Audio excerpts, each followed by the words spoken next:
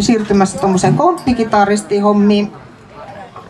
Ja tämä on Anun yksi semmoinen pitkäaikainen unelma, joka toteutuu juuri tänään täällä. Tämä on ihan...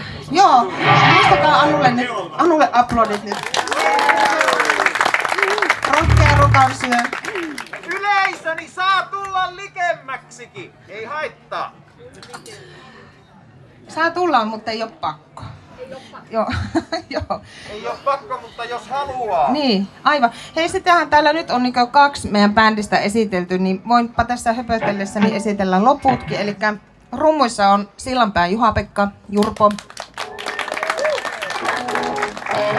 Sitten tuota, passossa on Antti Kauppila. Ja tässä mun vieressä mun, tuota, toisena solistina on hänen vaimonsa Anna Kauppila. Joo, ja mä oon sitten Sillanpään Merja. Niin nyt ollaan tuttuja, eikö vaan? Sinut. Ollaan sinut ja seuraava, onko kitaristi, kisa, molemmat kitaristit valmiina, niin seuraava kappale on nimeltään Tästä roudasta nousen.